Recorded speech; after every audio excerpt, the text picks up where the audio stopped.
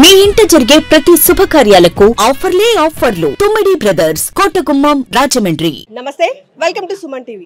ఎట్టకేలకు ఆంధ్రప్రదేశ్ వైఎస్ఆర్సీపీ ప్రభుత్వం మూడవ జాబితాలో శ్రీకాకుళం జిల్లాకు సంబంధించి ఎంపీ అలాగే ఎమ్మెల్యే అభ్యర్థులను అయితే ప్రకటించడం జరిగింది. అయితే ఇందులో మనం చూసుకున్నట్లయితే టెక్కల్ నియోజకవర్గానికి సంబంధించి ఎమ్మెల్యే అభ్యర్థిగా దువ్వాడ శ్రీనివాస్ గారిని అదేవిధంగా శ్రీకాకుళం జిల్లా ఎంపీగా పేడార తిలక్ గారిని ప్రకటించడం జరిగింది. ప్రస్తుతం ఇద్దరు అభ్యర్థులు కూడా మనతో పాటు ఉన్నారు. ఈ ప్రకటన మీద వారి యొక్క ఒపీనియన్ ఏంటి? ఫ్యూచర్లో వారి కార్యాచరణ ఎలా ఉండబోతుందో ప్రస్తుతం తెలుసుకుందాం. సార్ నమస్తే. ఫస్ట్ ఆఫ్ ఆల్ ఇద్దరికి కంగ్రాచులేషన్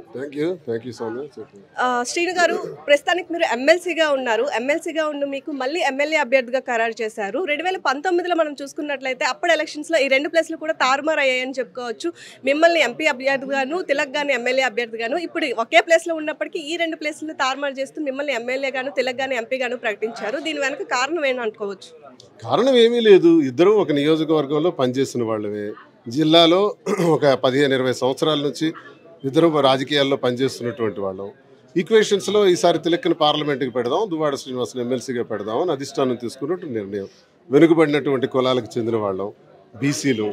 బీసీలకి ఎటువంటి అవకాశం లేనటువంటి ఇబ్బందుల్లో ఉన్నటువంటి వాళ్ళు. చంద్రబాబు నాయుడు లాంటి వాడు బీసీ వాళ్ళకి బీసీలకి మెదడు లేదు. వాళ్ళు ఉన్నత పదవులకు పనికిరారు. ఎస్సీలుగా ఎవరైనా పుట్టాలనుకుంటారా? ఎవరైనా ఆడబిడ్డకి అంటామంటే మగబిడ్డనికి అంటామంటే అత్త వద్దంటదా? అంటే ఆడ ఆ మహిళల గురించి చంద్రబాబు నాయుడు అభిప్రాయం అది. మహిళలు మహిళల సంఖ్య ఉండకూడదు. ఎస్సీలు ఉండకూడదు. బీసీలు ఉండకూడదు. వాళ్ళకి పదవులు ఇవ్వకూడదు.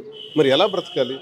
ఇలాంటి ఇలాంటి వెనుకబడిన కులాలకు చెందినటువంటి మమ్మల్ని గుర్తించి ఒక ఎమ్మెల్యేగా ఎంపీలుగా అవకాశం ఇచ్చినటువంటి జగన్మోహన్ రెడ్డి గారికి నా దైవం జగన్మోహన్ రెడ్డి గారి పాదాలకు నా హృదయం నేను నమస్కరిస్తూ మాకు ఇచ్చినటువంటి అవకాశం బీసీలకు ఇచ్చిన అవకాశంగా నేను గుర్తిస్తున్నాను. సార్ నిన్నటి వరకు చూసుకున్నట్లయితే మీరు కూడా చెప్పారు ఎవరిని ఎమ్మెల్యే అభ్యర్థిగా ప్రకటించినా మీరు తప్పనిసరిగా పనిచేస్తాము సపోర్ట్ చేస్తాము అని. కానీ అనూహ్యంగా నిన్న జాబితాలో మాత్రం మీ పేరుని అనౌన్స్ చేశారు. అయితే నిజంగానే మీరు దీన్ని ఎక్స్పెక్ట్ చేశారా?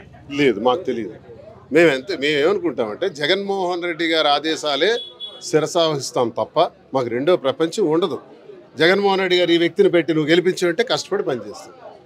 జగన్మోహన్ రెడ్డి గారు నువ్వు పోటీ చేయు అన్నారు కాబట్టి పోటీ చేస్తావు. ఆయన ఏం చెప్తే అది చేయటమే నా ద లైఫ్ తప్ప ఇంకా నాకు దిశానిర్దేశం అంటూ ఇంకేం ఉండదు. ఇక్కడ చూసుకున్నట్లయితే ఎస్పెషల్లీ మీ విషయానికి వచ్చేసరికి ముందు మీ సతీమణి వాణి గారి పేరు కూడా వినిపించింది ఎమ్మెల్యేగా. అంతేకాకుండా ఇంకొంతమంది కూడా పోటీ లిస్టులో ఉన్నారని గుసగుసలు వినిపించాయి.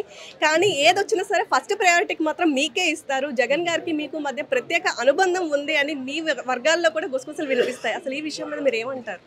జగన్మోహన్ రెడ్డి గారికి ఆయన గుండెల్లో ఈ దువాడ శ్రీనివాస్ అంటే ఒక చిన్న వ్యక్తి సామాన్యుడు అతి సామాన్యుడు. ఆయన గుండెల్లో ఉండటం అన్నది ఆ వెంకన్న ఆశీస్సులు.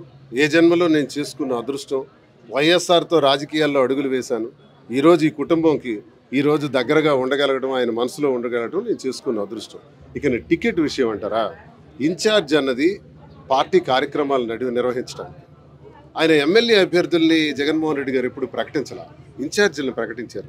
ఇది మీడియా అనవసరంగా దుష్ప్రచారం చేస్తున్నారు. చాలా పచ్చ మీడియా ఉంటుంది. అరే ఆరు నెలల క్రితం ఒక వ్యక్తిని పెట్టారే ఇప్పుడు మార్చారే. ఎమ్మెల్యే అభ్యర్థి అని చెప్పలేదే జగన్మోహన్ రెడ్డి గారు.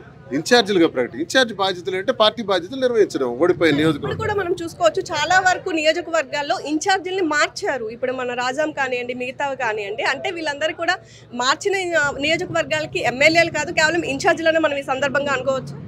అంటే ఇప్పుడు ఎన్నికలు దగ్గర పడుతున్నటువంటి ఈ సందర్భంలో అభ్యర్థిత్వాల్ని ఖరారు చేస్తున్నామని నిన్న బొత్స సత్యనారాయణ గారు కూడా తన మాటల్లో చెప్పారు. దాన్ని బట్టి అర్థమవుతుంది ఏంటంటే ఇప్పుడు ప్రకటించిన వ్యక్తులందరూ కూడా అభ్యర్థులు అవుతారు అన్నది మాకు వచ్చినటువంటి ఆదేశం. సరే గతంలో చూసుకున్నట్లయితే మీరు ఎవరైతే ఎంపీగా మీరు పోటీ చేసినప్పుడు బా అబ్బాయి అయినటువంటి రామ్మోహన్ నాయుడు గారి మీద మీ ప్రత్యర్థి మీద చేశారు. ఇప్పుడు సిట్టింగ్ ఎమ్మెల్యేగా ఉండేటటువంటి అచ్చెన్నాయుడు గారి మీద మీరు పోటీ చేయబోతున్నారు. సో ఈ పోటీకి మీరు ఎలాంటి వ్యూహం రచించబోతారో అనుకోవచ్చు. అచ్చెన్నాయుడు మీద పోటీ అంటే వాడికి ప్రజలతో సంబంధం ఉండదు. రౌడీజం గోండాయిజం నామినేషన్ వేసిన వాళ్ళకి చంపటం. సర్పంచులుగా వేసిన నామినేషన్లు వేసిన ముగ్గురిని చంపేశాడు. సొంత తమ్ముడిని చంపాడు. ఎందుకు చంపాడో తెలుసా? రాజకీయాల్లో అడ్డొస్తున్నాడు. కత్తంతో పొడిచి అర్ధరాత్రి రక్తపు మరకల నిమ్మాళ్ళు ఈ రోజు కూడా గుర్తున్నాయి. సొంత తమ్ముడినే చంపిన అచ్చెన్నాయుడు వాళ్ళు ఎవరినైనా హత్య చేయడానికి వెనుకబడరు. ఇన్ని హత్యలు చూసిన తర్వాత దరిగ్రామాల్లో ఉన్నటువంటి బూతులన్నీ కూడా వాళ్ళకి పాదక్రాంతులు అయిపోయినారు. రిగ్గింగ్లు రౌడీజం గూండాయిజంతో ఇన్నాళ్ళంతా దొంగ గెలుపులు అనైతిక గెలుపులాడవి దమ్ముంటే వాళ్ళ గెలుపులో నిజాయితీ ఉంటే నూట ముప్పై ఆరు పంచాయతీల్లో నూట పంతొమ్మిది మేము గెలుచుకున్నామే. నాలుగు ఎంపీపీలు నాలుగు జెడ్పీటీసీలు గెలుచుకున్నామే. వాళ్ళ బలం ఏమైంది? నిజాయితీగా ఎన్నికలు జరిగితే కింజరాపాల్ అవుట్. ఏమైనా కానీ అక్రమాలు రౌడీజం గుండాయిజంతో ఎన్నికలు జరిగితే వాళ్ళు లెస్ మార్జిన్ రెండు వేలు మూడు వేలతో గెలిచే సందర్భాలు జరిగాయి తప్ప వాళ్ళు ఏం బలమైన వాళ్ళు కారు. ఈసారి చూస్తారు కదా సుమారు నలభై వేల ఓట్ల పైచిలుకు మెజార్టీతో టెక్కలి డెబ్బై వేల ఓట్ల పైచిలుకు మెజార్టీతో రేపు ఎంపీ గెలవబోతున్నాం. శాశ్వతంగా చెప్తున్నాను కింజరాపల్లి చరిత్ర రాజకీయ సమాధి. తప్పదు. ఫైనల్గా ఎలక్షన్స్ ఇంకా మరికొద్ది రోజుల్లోనే మన ముందుకు రాబోతున్నాయి కాబట్టి why not one seventy five to one seventy five అని ఏదైతే వైఎస్ఆర్సీపీ వెళ్తుందో అది ఖచ్చితంగా జరిగి తీరుతుందని మీరు అనుకుంటున్నారు? ఇప్పుడు ఇచ్చాపురం నుంచి చిత్తూరు వరకు వాలంటీర్ వ్యవస్థ ద్వారా సచివాలయ వ్యవస్థ. సుమారు నాలుగు లక్షల ఇరవై వేల కోట్ల రూపాయలు నిధులు. ఈ రాష్ట్రంలో ఉన్న ఇళ్ళు ఒక కోటి అరవై ఐదు లక్షల పైచిలుకు. ప్రజలు ఐదు కోట్లు. ఐదు కోట్ల మంది ప్రజలకి పన్నెండు కోట్ల యాభై లక్షల మంది లబ్ధిదారులు. అంటే అమ్మఒడి రైతు భరోసా చేయూత జగనన్న విద్యా దీవెన జగనన్న వసతి దీవెన ఆరోగ్యశ్రీ వైఎస్ఆర్ ఆరోగ్యాశ్రీ ఇలా ప్రభుత్వ పథకాలు అందుకున్న వాళ్ళందరూ పన్నెండున్నర కోట్లు. తీసుకున్నవి లక్ష ఇరవై నాలుగు లక్షల ఇరవై వేల కోట్లు. ఒక్కో గృహానికి ఒక్కో అరువుడికి ఇంచుమించు రెండున్నర మూడు లక్షలు ఐదు లక్షల వరకు వెళ్ళింది. మరి సంక్షేమాన్ని ఇంత పొందినటువంటి ప్రజలు రాజకీయాలకు అతీతంగా సంక్షేమం వెళ్ళింది. ఎక్కడా కూడా అవినీతి లేదు. ఒక్క రూపాయి లంచం ఇచ్చారని దమ్ముంటే చంద్రబాబు నాయుడు కానీ లోకేష్ కానీ ఆ పవన్ కళ్యాణ్ కానీ దమ్ముంటే వేదిక మీదకి ఒకటి తేండి. జగన్మోహన్ రెడ్డి ప్రభుత్వంలో ఈ పెన్షన్ కోసం లంచం ఇచ్చారంట. లంచం అడిగారంట. రాష్ట్రం మొత్తం ఒకరిని తీసుకురండి. మరి ఆయన పార్టీకి ఓటేయలేదని చెప్పి అరువుడికి ప్రభుత్వ పథకం ఇవ్వలేదంట అని ఒక్కడిని తీసుకురమ్మనండి దమ్ముంటే ఎన్నికల లోపు. నేను సవాల్ చేస్తున్నా మీ మీడియా ద్వారా. అందుకే ఇంత మంచి పాలన అందించాడు కాబట్టే ఇంత పారదర్శకంగా పరిపాలించాడు కాబట్టే నా తమ్ముడు నా బిడ్డ నా అన్న నా జగననే గెలిపించుకుంటానని ప్రతి చెల్లమ్మ ప్రతి తల్లి ప్రతి రైతన్న ప్రతి విద్యార్థి అందరూ అనుకుంటున్నారు కాబట్టి నూట డెబ్బై ఐదు నియోజకవర్గాలు why not one seventy five ఎందుకు కాకూడదు? ఎందుకు కుప్పం చంద్రబాబు నాయుడు గెలవాలి? పోతారు. అందరూ పోతారు. మా సోదరుడు భరత్ అక్కడ గెలుస్తాడు. అందరూ మా వన్ సెవెంటీ ఫైవ్ కూడా వైకాపావే చూసుకోండి. Thank you sir. ప్రస్తుతం మనతో పాటు ఎంపీ అభ్యర్థిగా ప్రకటించినటువంటి పడాటి తిలక్ గారు కూడా ఉన్నారు. సార్ నమస్తే. ఇప్పుడు మనం చూసుకున్నట్లయితే ఇప్పటికే మీ మీద పోటీ చేస్తున్న ప్రత్యర్థి గతంలో కూడా రెండు సార్లు ప్రస్తుతం సిట్టింగ్ ఎంపీగా కూడా ఉన్నారు. అయితే ఈ అభ్యర్థి మీద మీరు గెలవగలను అనుకుంటున్నారు? ముందుగా నన్ను పార్లమెంట్ అభ్యర్థిగా అవకాశం కల్పించిన జగన్మోహన్ రెడ్డి గారికి హృదయపూర్వకంగా మరి ఆయనకి ధన్యవాదాలు తెలియజేసుకుంటున్నాను. మరి పార్లమెంట్ అభ్యర్థి రామ్మోహన్ నాయుడు గారు ఆయన వారసుడు. వారసత్వ రాజకీయాల నుంచి వచ్చిన వ్యక్తి. ఆయనకి ఇప్పటికీ పరిపక్వత చెందని వ్యక్తి. ప్రజా సమస్యలపైన కానీ గ్రామీణ ప్రాంతాల్లో నివసిస్తున్న సామాన్య వాళ్ళ తాలూకా స్థితిగతుల కోసం తెలియని వ్యక్తి. అందుకే ఆయన విలాసవంతమైన జీవితం గడుపుతున్నాడు. ఆయన హనీమూన్ తిరగటం పదకొండు పన్నెండు గంటలకు పగలు లెగటం ఏ రాత్రి ఏ ఎక్కువ జాములో పడుకోవటం. ఆయన నైజం. ఇది జిల్లా ప్రజానీకానికి తెలుసు మీడియా సంస్థలకు తెలుసు అందరికీ తెలుసు ఇది. సార్ గతంలో మీకు ఎమ్మెల్యే అభ్యర్థిగా ఇచ్చారు ఇప్పుడు ఎంపీ అభ్యర్థిగా మార్చారు. దీని మీద మీరు సంతృప్తితో ఉన్నారా? మేము వంద శాతం సంతృప్తిగా ఉన్నాను. ఇంత ఇంత బహుత్తరమైన అవకాశం వస్తుందని నేను కళ్ళలో కూడా ఊహించుకోలేదు. ఇక నేనైతే సంతి పంచాయతీ బోర్డు ప్రెసిడెంట్గా ఇరవై ఐదు సంవత్సరాల రాజకీయాల్లో నలిగిన వ్యక్తిగా జిల్లా పరిషత్కు ఒకసారి అవకాశం వచ్చింది. శాసనసభకి పంతొమ్మిదిలో శాసనసభ్యునిగా పోటీ చేసే అవకాశం వచ్చింది. ఈరోజు జగన్మోహన్ రెడ్డి గారు మళ్ళీ పార్లమెంటు అభ్యర్థిగా పోటీ చేయడానికి అవకాశం కల్పించారు. సార్ మనం చూసుకుంటే ఎంపీ అభ్యర్థిగా చాలా మంది పేర్లు తెర మీద వినిపించాయి. కానీ చివరకు మాత్రం అందరికీ షాక్ ఇస్తూ మీ పేరుని అనౌన్స్ చేసింది. దీని మీద అసలు మీరు ఏమంటారు ఆయ- ముందుగా తెలుసా ఈ నాకు ముందుగా తెలియదు ఇది తెలియదు వాస్తవంగా తెలియదు జగన్మోహన్ రెడ్డి గారు అనౌన్స్ చేసిన తర్వాత నేను అప్పటికి వేరే ప్రాంతంలో ఉన్నాను. టీవీ ఎదురు కూడా లేను. అనౌన్స్మెంట్ ఇస్తారని కూడా తెలియదు నా పేరు పార్లమెంట్కి ప్రకటించారు అని చెప్పి మా ఎంపీపీ గారు చెప్పిన తర్వాత నాకు తెలిసింది. ఆశ్చర్యపోయాను.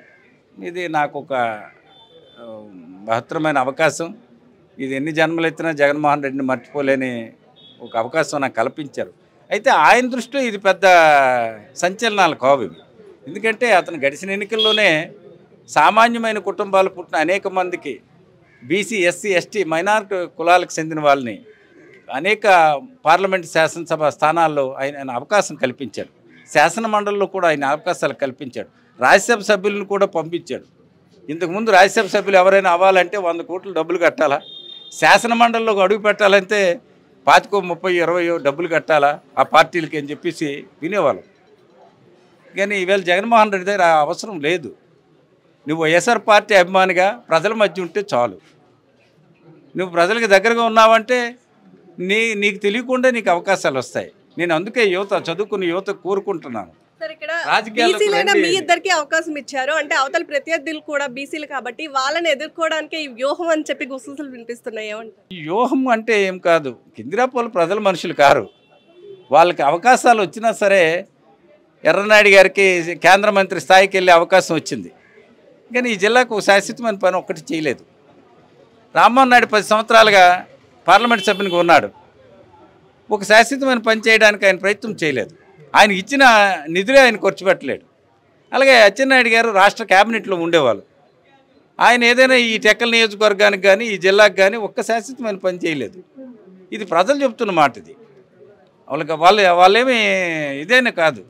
వాస్తవంగా వాళ్ళ తాలూగా నడవడికని ప్రజలు గమనించారు. ఈవేళ మేము సునాయాసంగా గెలుస్తామనడానికి సంక్షేమ రాజ్యాన్ని ఈవేళ ఆంధ్రప్రదేశ్లో జగన్మోహన్ రెడ్డి గారు స్వతంత్రం వచ్చిన డెబ్బై ఐదు సంవత్సరాల్లో ఏ ముఖ్యమంత్రి ఎప్పుడు ఎక్కడ చేయని విధంగా భారతదేశంలో ఈ ఉన్న ఏ రాష్ట్రంలో కూడా ఇలాగ అమలు చేయని విధంగా సంక్షేమ రాజ్యాన్ని అమలు చేశారు. సంక్షేమ పథకాలు తీసుకున్న వ్యక్తి గర్వంగా తలెత్తుకొని ఎవరి దగ్గరికి వెళ్ళకుండా ఎవరికి రూపాయి లంచం ఇవ్వకుండా నేరుగా ఈరోజు సంక్షేమాన్ని అందుకుంటున్నారు. అందుకు అందరూ కూడా జగన్మోహన్ రెడ్డి ఫోటో చూసి కొట్టేస్తారు. ఇలాంటిది మాలాంటి వాళ్ళకి అవకాశం అనేది జగన్మోహన్ రెడ్డి తీసుకున్న ఒక దూరపైన ఆలోచన ప్రజలకు ఇస్తున్న ఒక విజన్ అయిన ఇది. చదువుకున్న వాళ్ళందరికీ మేధావులకి విద్యావేత్తలకి అందరికీ నేను ఈ సందర్భంగా కోరుకుంటుంది ఏంటంటే రాజకీయాల్లో జగన్మోహన్ రెడ్డి వెంట నడవండి. జగన్మోహన్ రెడ్డి లాంటి నాయకుడిని మనం ఆదర్శంగా తీసుకోవాలా? ఆయనకి ఈ రాష్ట్రంలో ముప్పై సంవత్సరాలు ముఖ్యమంత్రిగా ఉంటే అనేక వర్గాలకి అనేక మంది విద్యావేత్తలకి అవకాశాలు వస్తాయి. రాజకీయాల్లోకి రండి అని చెప్పి నేను స్వాగతిస్తున్నాను. ఈ అవకాశం కల్పించిన జగన్మోహన్ రెడ్డికి ధన్యవాదాలు చూశారు కదా సాధారణంగా వీళ్ళిద్దరూ అయితే ఇక్కడ అభ్యర్థులుగా ప్రకటించినందుకు మేము ఆనందపడుతున్నామని చెప్తున్నా. అయితే ఈ విషయం వీళ్ళకి కూడా పూర్తిగా స్థాయిలో తెలియదని ఎప్పుడైతే పేర్లు ప్రకటించారో దాని తర్వాత మేము కూడా తెలుసుకున్నామని చెప్తున్నారు. ఏదేమైనప్పటికీ కూడా one not one seventy five to one seventy five అనడానికే మేము వర్క్ చేస్తాము. తప్పనిసరిగా విజయాన్ని సాధిస్తామని చెప్తున్నారు. అయితే మరీ ముఖ్యంగా ఇక్కడ మనం గమనించాల్సింది ఏవైతే ఇన్ఛార్జ్ పేర్లను ప్రకటించారో సాధారణంగా ఇన్ఛార్జీలను ప్రకటించిన వాళ్ళందరికీ కూడా అదే నియోజకవర్గపు ఎమ్మెల్యేలుగా ప్రస్తుతానికి ప్రజలైతే అపోహపడుతున్నారు. అయితే వాస్తవానికి జాబితా వచ్చినంత వరకు కూడా ఎవరికి కూడా ఇన్ఛార్జ్ మాత్రమే కానీ ఎమ్మెల్యే అభ్యర్థిగా అయితే మాత్రం ప్రకటించినట్టు కాదు అని చెప్పి ఈ రెండు పేర్లు చూసిన తర్వాత అయితే మాత్రం మనకు ఒక స్పష్టత వచ్చిందనే చెప్పుకోవచ్చు. మిగతా అభ్యర్థుల పేర్లు తెలియాలి అంటే మాత్రం ఇంకా మనం వేచి చూడాల్సింది. ఇది ప్రస్తుతం ఇక్కడ ఉండేటటువంటి పరిస్థితి. Camera person Asintha Soumya Srikakulam సుమంటి.